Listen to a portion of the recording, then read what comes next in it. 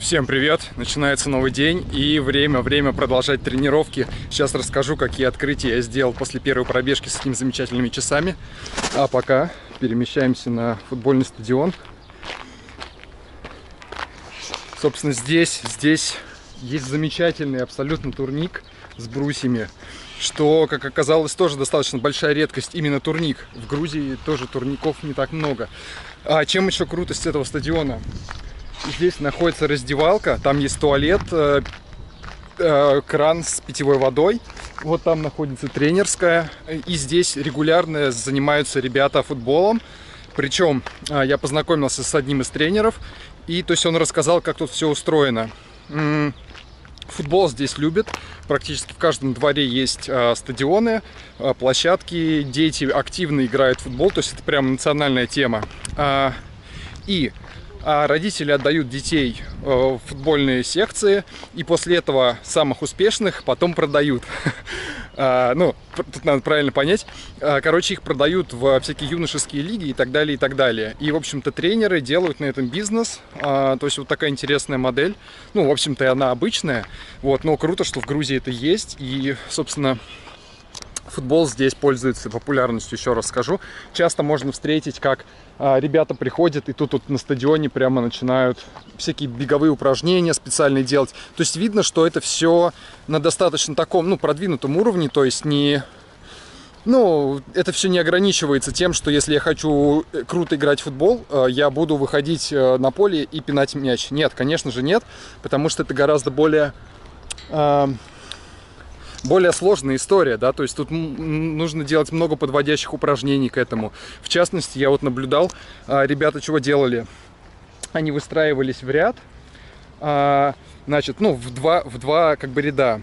И первый человек в ряду ложился на пол, на спину, и по свистку а, оба ряда ну, лежащих ребят должны были встать и добежать до точки. То есть тем самым они тренировали вот эту взрывную, ну, не силу, а способность ну, быстро подняться и добежать. То есть это, ну, тоже важное качество в футболе, да, когда ты э, упал, да, и тебе надо быстро встать и побежать дальше. Вот, то есть я думаю, что таких подводящих упражнений будет очень много. И мы даже когда э, с тренером стояли, общались, вот мы прямо здесь вот стояли, разговаривали, и при этом ребята играли, и он прямо им какими-то специальными фразами, специальными какими-то свистками прямо давал указания какой трюк сейчас сделать. Они это делали. И, ну, я реально офигел. То есть я прямо увидел в этом ну, я, я, я очаровался, да, мне всегда нравится, когда что-то делается на высоком уровне, и неважно что. К футболу я достаточно холодно отношусь, хотя в детстве обожал это дело, прям фанател, был лучшим вратарем э, у нас на даче, вот, но, короче, сейчас что-то прямо нет, прямо нет. А, вот, несмотря на это, я прямо был очарован тем, как э, уровнем как бы подхода к тренировкам. Тем не менее, точно, я точно скажу, что можно все улучшать, стопудово, но так или иначе с футболом здесь очень хорошо. Собственно, что тут? Э, брусья, турник э, замечательный, попозже потренируемся, а пока расскажу о своих впечатлениях вот после общения с этими ребятами, да, замечательными. Короче, если кратко, я понял, что я делаю все не так, вот, и в чем это выражалось? Что я слишком интенсивно тренировался и действительно, то есть если а, во времена а, штатов у меня еще, ну, был прямо прогресс, да, в марафонах, в полумарафонах, ну и в целом, то есть я из раза в раз я э, замечал, что я начинаю бежать быстрее с сохранением того же э, уровня пульса то сейчас в Грузии я, то есть я не скажу, что я прямо часто бегаю, да, то есть, ну вот объективно получается 2-3 раза в неделю, но я всегда бегал сразу большой объем, типа, ну, бежать так бежать сразу, да, там на всю эту, на всю, как это, колоду. А, и, значит, к чему это приводило? Я, видимо, перетренировывался, потому что прошлая тренировка, да, которую как раз вот э, мы с вами совершили, я посмотрел анализ по часам, да, а часы они проверяли что? Они проверяли а, мой средний пульс, э, сопоставляли это все с моей скоростью, с профилем высот, по которым я бежал, и э, с насыщением крови кислородом. Вот, и они сказали, грубо говоря, по концу тренировки, да не грубо говоря, а фактически, что эффективность тренировки была очень низкая. То есть, по сути дела, я как бы себя просто изматывал. Да, здесь важно сказать, что это не всегда плохо, да, себя изматывать. Есть определенные тренировки, которые как раз-таки в которых ты находишься вот на пике своих, ну, на, на, на предельном уровне, да, и ты тем самым тренируешь там определенные там лактатные пороги и так далее, и так далее. Но конкретно в моем случае, да, я себя просто изматывал, и эффективность таких тренировок была невысокая. Собственно, э, это свидетельствует мой прогресс э, за вот эти вот э, сколько я тут бегаю? Ну, месяца два точно бегаю. Прогресса как бы как будто бы не особо-то и много. Вот, поэтому, что я сделал? Значит, первое. Я подписался, у Гармина есть замечательные программы тренировочные, точнее, насколько они замечательные, это мы с вами, нам предстоит это все проверить. Короче, я поставил себе цель, да, с помощью их приложения, значит, что хочу пробежать полумарафон с таким-то темпом, да. Темп я поставил а, за час 48 Почему час 48? Потому что мой лучший результат в Штатах был час 49. Соответственно, хочу пробежать теперь лучше. Понимаю, что это сложная задача в этом году это сделать. Ну, потому что сейчас у меня результат очень далекий от, от вот этого, от э, целевого. Но, тем не менее, да, важно, да, к чему-то идти и к чему-то стремиться. Значит, э, что после этого я сделал? Поставил цель и подобрал, Garmin предлагает там на выбор три плана. Ты выбираешь трех разных тренеров, по программе которых прописан определенный алгоритм, да, в который ты вводишь свои там данные, а, сколько ты сейчас бегаешь, как часто, сколько раз в неделю ты бегаешь, а, сколько, а, какой твой средний темп и так далее. Вот. И после этого на основании этих данных программа составляет тебе план тренировок. Соответственно, сегодня первый день. А, сегодня тренировка меня даже она как бы бесит, потому что она будет длиться 9 минут. И она называется типа экспресс-тест или что-то такое. Короче, мне надо будет просто сначала разогреться, да, там 5, 5 минут, по-моему. Нет, 2 э, или 3 минуты. Потом 5 минут будет а, бега. И после этого все, опять как бы заминка, да, там трехминутная. Вот, на основании этого Garmin построит мой профиль, и поймет, какие нагрузки мне давать, чтобы я вышел, э, смог пробежать полумарафон в сентябре, в октябре, по-моему, 17 или 18 октября. Короче, э, это будет суббота, э, середина месяца, середина октября. Почему так? Ну, потому что раньше как бы Гармин говорит, нет, слишком, ну, как бы, ты, конечно, можешь, но мы, ну, короче, не советуем тебе это делать. Вот, поэтому Сегодня э, тренировочная история, но мы на этом, конечно же, не остановимся. Как вы видели, я повесил туда черный ремешок, да, на турник. А, что это такое? Это TRX, который я, да, взял с собой, потому что, ну, как бы без TRX вообще ни одно мое путешествие дольше недели, оно не обходится. Всегда беру его с собой. Сегодня поделаем упражнения. Э, немножко повыпендриваюсь. Э, в чем я прокачался, так это в стойке на руках, в ходьбе на руках. Я думаю, что сегодня ну, классные будут э, видосики.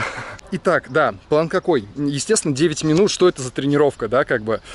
Поэтому я нашел еще в часах а, еще два теста. Первый тест это HRV, это так называемый стресс-тест, основанный на вариабель, вариабельности сердечного ритма. То есть к чему пришли вообще а, исследователи, да, физиоло, физиологи, а, ну, наверное, да, они так называются. Они пришли к тому, что не только а, частота пульса показывает уровень стресса, но также и вариабельность сердечного ритма. То есть насколько а, темп, а, насколько он постоянен. То есть насколько равные паузы между э, сокращениями сердца, то есть на, чем они равнее, тем э, вроде как наш организм э, в лучшем как бы состоянии, в более спокойном, да, то есть это свидетельствует об отсутствии стресса. Это если очень просто. Поэтому, э, соответственно, вот этот тест, эти, короче, часы позволяют это делать. Единственное, что этот тест работает только в, в купе с нагрудным датчиком, потому что он более точный. Кстати, насколько он более точный, мы в следующих выпусках обязательно еще протестируем. Короче, вот этот тест, а, его можно проводить, ну, то есть желательно проводить э, каждый день в определенное, в одно и то же время, ну, чтобы отслеживать динамику, да, потому что понятное дело, что если сегодня мы измерили его утром, а завтра вечером, ну, то есть э, результат будет разный, его будет сложно сопоставить, потому что наше состояние с утра и вот наш тонус э, и, и вечером это совершенно две разные истории, да, поэтому тут важна регулярность в одно и то же время это все мерить, желательно перед тренировкой. И концепция в чем, что ты измеряешь вот этот вот вариабельность сердечного ритма, тебе алгоритм выдает, насколько ты а, готов ну, именно к серьезной тренировке. То есть может оказаться так, что ты, ну, что-то, короче, подустал, да, и не стоит сейчас делать большую тренировку, да, стоит сделать такую восстановительную. Это первый момент. В этом плане есть очень прикольные датчики, называется WUP. Это примерно то же самое, что и фитнес-часы, но WUP, он выглядит как браслет, на нем нету никаких э, цифровых показателей, и он коннектится к телефону напрямую. Вот. И он, в принципе, он то же самое замеряет, он как раз вариабельность сердечного ритма, но помимо этого э, он делает это постоянно. И то есть у вас получается срез э, на протяжении всего как бы всего дня. Вот, такая как бы заманчивая штука. А, это я так, просто пока для себя, что ли, еще раз, еще раз понял, что хочу.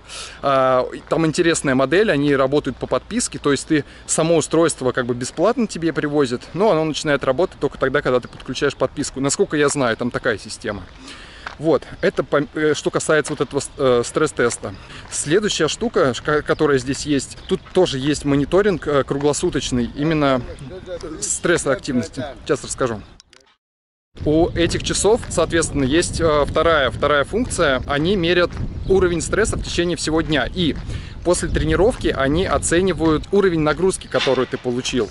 Соответственно, после этого, э, что, о чем это говорит? После этого они четко э, простраивают график, в котором сказано, сколько часов тебе надо отдохнуть, чтобы полностью восстановиться. Кайф, кайф. Но это еще не все. Э, более того, они помимо этого отслеживают, соответственно, твое как бы, состояние в течение дня. И если ты где-то начинаешь переусердствовать, например, я в один из дней, после той тренировки он мне написал, надо 72 часа отдыхать. Я такой, ну окей, хорошо. И в один из дней а, я куда-то пошел, короче, сделал там порядка 17 тысяч шагов. И он мне написал, что твое время восстановления увеличилось, потому что а, слишком была высокая активность. Я такой, класс, ну прикольно же. Вот, а потом, а в другой день, я наоборот, я просто целый день просидел за компьютером, а, и они сказали, что время восстановления сократилось, потому что, потому что, собственно, а, ты молодец, ты хорошо, качественно отдыхаешь.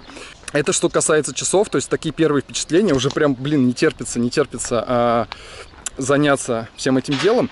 Единственный момент, снова, э, на, на что я отвлекался сейчас, подошел мужик и снова задал вопрос, ну как бы даже не вопрос, а такой дружеский совет, как он это назвал, по поводу футболки, такой говорит, надо носить, типа, говорит, ну, и вот опять мысль, то есть фраза в чем была, он говорит, я сам хочу раздеться, но э, мне типа неудобно, потому что другие посмотрят, и, собственно, ну, логичный вопрос у меня возник, э, ну, так это в ком, ну, то есть в ком проблема-то? что вам неудобно. Он говорит, меня так воспитывали. Я говорю, ну хорошо, вы допускаете, что э, разных людей по-разному воспитывают, и почему вы считаете, что ваше воспитание единственное правильное, и что вы считаете... Ну, не, он, он, он тактично, он сказал, я как бы тебе советую. Ну, обрати внимание, что есть люди, которым это не нравится, да, то есть он не сказал, что тебе нельзя так ходить, то есть, ну, как бы, он не, не поставил себя единственно как бы верным, да, то есть и правильным. Что можно сказать? А, каждый, каждый, каждый такой конфликт, я еще раз говорю, да, что а, я, по сути дела, не то чтобы намеренно на это иду, да, а мне, ну, просто мне реально в кайф находиться на солнце, загорать, да, а мне нравится, ну, когда загорелая кожа, это офигительно. Вот, просто я люблю солнце, и, ну, каждая пробежка на солнце, я возвращаюсь домой, я прям чувствую, что я прям напитался, напитался вот этим солнцем, вот, вот этой, короче, офигительной штукой. Поэтому, ну, собственно, и каждый раз, да, ну, так или иначе, да, выходя на улицу, я думаю, так, интересно, сегодня будет какой-нибудь диалог или не будет. Ну вот, и каждый из таких диалогов для меня это, собственно, а, тоже тренировка, да, как и беговая тренировка, также и тренировка, ну, так или иначе, это конфликт, да, то есть конфликт это не обязательно а, какая-то агрессия и так далее. Конфликт это в целом, когда у, у людей как бы есть, ну, там не совпадают их какие-то там точки зрения или хотелки, и вот надо как-то, ну, надо это все дело, ну, как-то как, как решить, либо в свою пользу, либо чтобы был вин-вин, чтобы все ушли, да, из этой ситуации, ну, довольными, ну, вот. Поэтому учусь, тренируюсь. Сегодня новую фичу отработал. Я понял, что в какой-то момент он начинает меня перебивать, да, то есть я отвечаю, он перебивает. Я его остановил, сказал, что э, если вы меня не будете, ну, слушать то, что я говорю, я же вас внимательно слушаю, да, и не перебиваю, мы не сможем с вами продолжать диалог. Очень помогло, то есть он прямо, ну, выслушал. Поэтому такие маленькие это не победа. Это, не, ну, нет, то есть я имею в виду, что это не победа над человеком, да, это типа победа над собой, но даже не над собой, а над своими м, какими-то качествами, да, которые ты как раз тренируешь. Вот, это все прям, прям круто. Вот, единственное, да, справедливости ради надо сказать, что, возможно, в одном из видео вы увидите меня синяками. Ну, как бы это тоже определенная, э, определенная тренировка. И еще раз, еще раз, еще раз, еще раз, я буду постоянно об этом говорить, что, возможно, меня будут смотреть э, те, кто не согласен с тем, что я говорю. Так, отвалились наушники. Э, короче, да, возможно, меня будут смотреть те, кто не согласен с тем, что я говорю. Но ключевая, ключевая моя позиция, да, в которой я прямо непреклонно уверен и убежден, что э, есть культурные традиции. Окей. Но а, пока эти культурные традиции не закреплены а, законодательно, да, пока а, нету статьи, да, вот конкретно, что в Грузии нельзя ходить с голым торсом.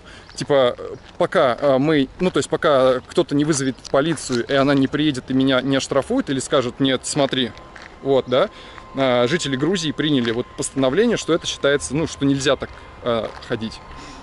Все, без вопросов. На государственном уровне, на уровне э, законов уважаю, принимаю и, ну, как, э, собственно, турист, да, готов соблюдать законы. Ну, чем, собственно, и занимаюсь. Но когда объективно э, небольшая часть людей, у которых есть свои э, традиции и взгляды, хочет их э, навязать, насадить всем остальным, ну, я считаю, что нет. Э, нет, э, я, я уважаю их традиции и взгляды, но не готов, э, не готов э, ущемлять себя в чем-то ради того, чтобы как бы сделать им хорошо.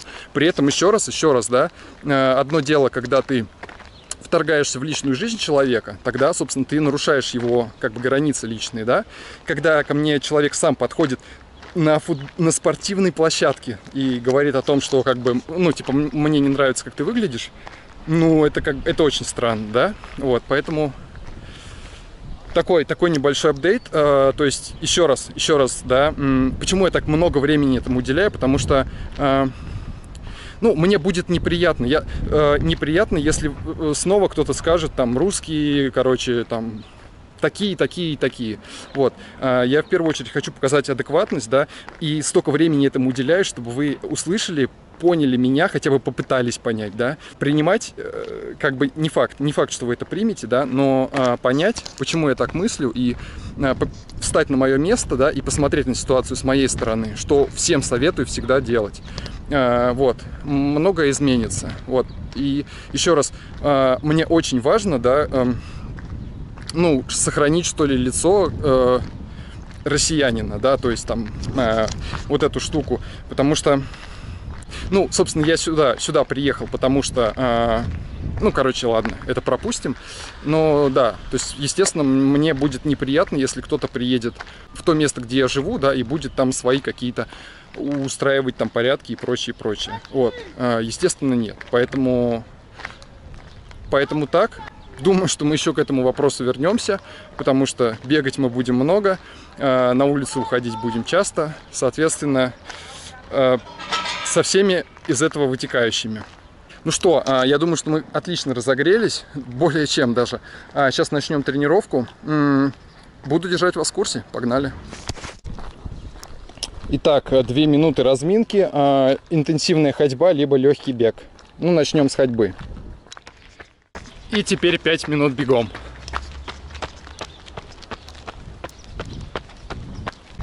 А, небольшое уточнение. А, человек, который ко мне подошел, он сказал, что 15 лет сидел в России. Ну вот, собственно, не знаю, можно ли какие-то выводы делать и как-то людей классифицировать, но не знаю, не знаю. Просто поразмыслить. Так, часики пропикали 5 минут и сказали, что мой performance condition good. И теперь... Фу, 2 минуты А, нет, еще бежим. Пардон. Он сказал, что ты можешь еще продолжать минуту, две минуты бежать или перейти на шаг, если, если ты хочешь. Конечно, бежать. А, к слову, performance condition good было у нижней границы. То есть я на границе, типа, видимо, между норм и хорошо. Но уже забрались в зону зеленую. Это класс.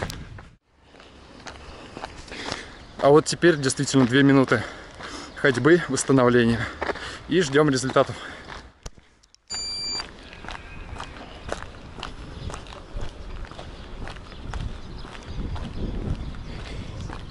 Так.